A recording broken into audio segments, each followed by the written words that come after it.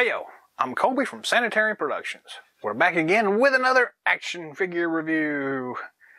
In this episode, we're taking a look at the WWE line Series 90 Ronda Rousey. Her debut figure, the first time in the line. Very cool looking. Uh, this is kind of a plain, I'm going to say plain figure card release. Um, it's a lot of blank white. So I'm, I don't know, I'm kind of torn between on this. Um, it's simple, it's kind of classic looking, and it does work, but I kind of miss the red colors and the bright popping stuff and all that. But anyways, this is Series 90, Ronda Rousey. Very cool looking figure in the bubble. Uh, we'll flip this over to the side here and we get a, fit, a uh, listing of some of the other figures in the line. We have, of course, Ronda Rousey, which we're looking at today. Aiden English, Roman Reigns, The Miz, and Kane. This came out in 2018. And it's time to dive into the figure itself here. So, um, we've actually gotten quite a few Ronda Rousey figures um, in the past year or so, but uh, this was the first one. And this is kind of the basic I keep saying basic. I shouldn't say basic.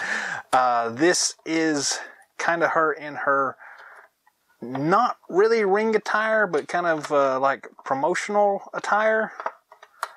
And for whatever reason, my knife is being weird and it's going all jaggedy here.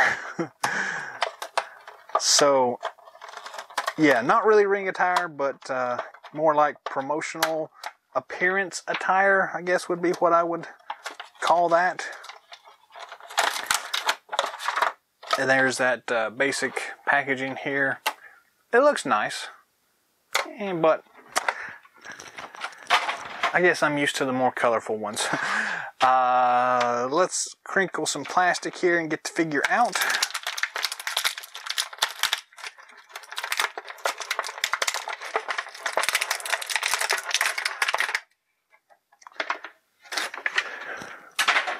And we'll go ahead and flatten the figure here and zoom in for a closer look here. How will that work? That should be fine. Alright, so Ronda Rousey. Uh, first impressions, this looks like a pretty decent figure here. Um, I do sometimes use these figures as custom fodder and things like that, so when I saw this one online. I actually thought it would look, it would make a nice, decent, kind of basic figure. Um, detail wise here, we've got some pretty good head sculpt here. Um, nice kind of smiling Ronda Rousey facial sculpt. Looks pretty decent actually. Nice hair sculpt. Uh, yeah, I'm going to have to uh, dial down the light here just a little bit because there are some details in the figure that I want to kind of showcase here. And they get kind of blown out with the white highlights here. So, um, she's wearing just kind of a basic, I said basic a lot today. Uh, a plain Hot Ronda t-shirt here, kind of a throwback to the Hot Rod. Uh, but it's interesting because it's a nice looking shirt here. She's got some nice sculpt here, so you can kind of see her sports bra underneath the straps and everything here. So that's, I found that to be unique.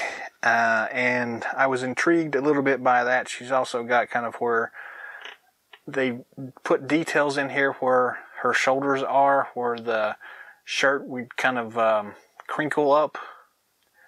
I don't know. I just thought that was pretty amazing looking. So, uh, yeah, it's it's a cool looking figure here. She's also got some nice details here in her her pants.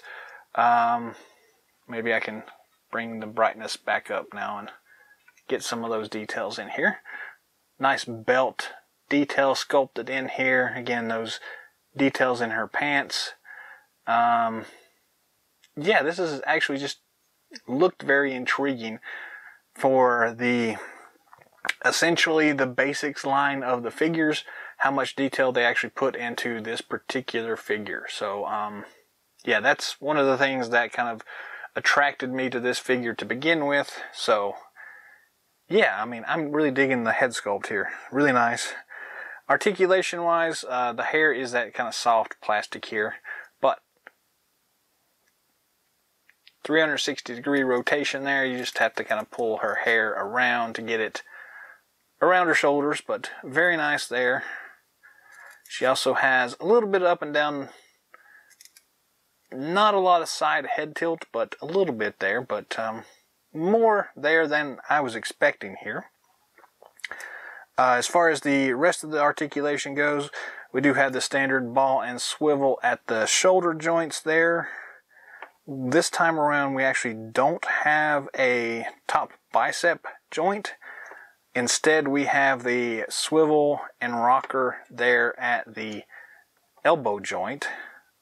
So it swivels and it has a standard single elbow joint there. So that's very nice. Um, I kind of miss that swivel at the top of the bicep. We do have standard twist at the wrist.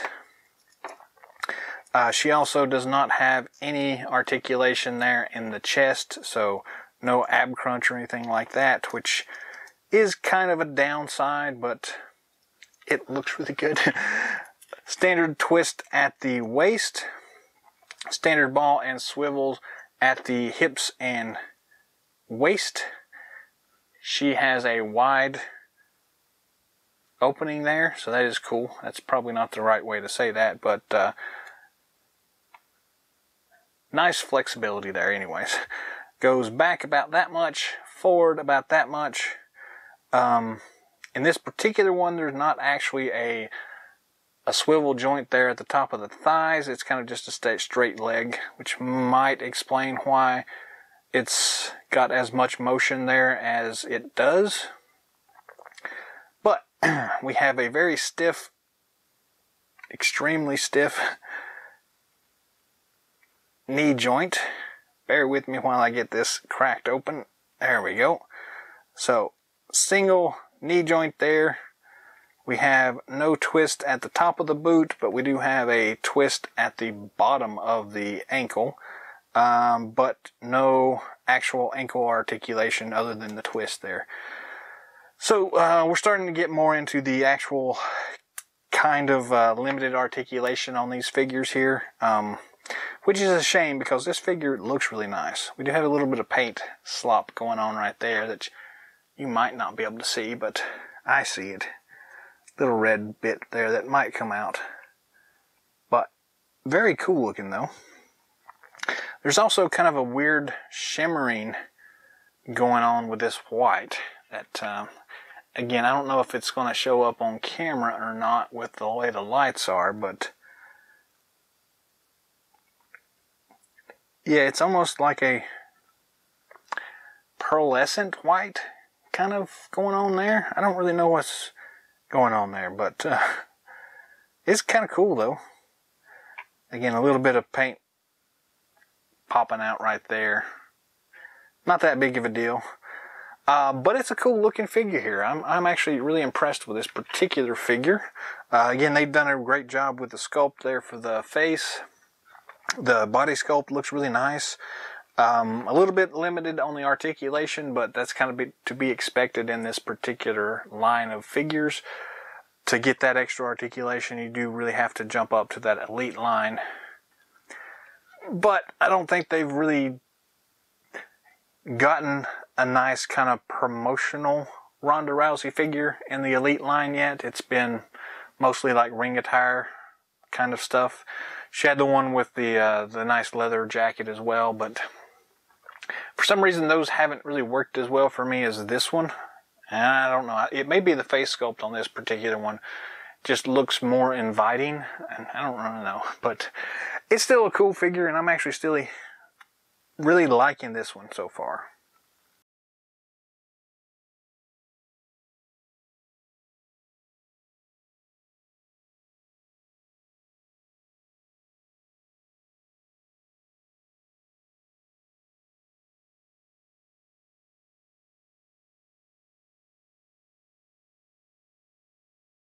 that's all the time we've got for today. So thanks for watching as always.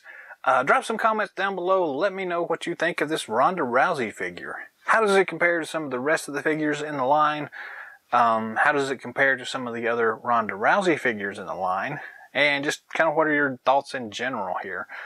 Um, if you would like to see anything in future episodes, drop a comment down below as well. I'll do my best to get it out in front of y'all.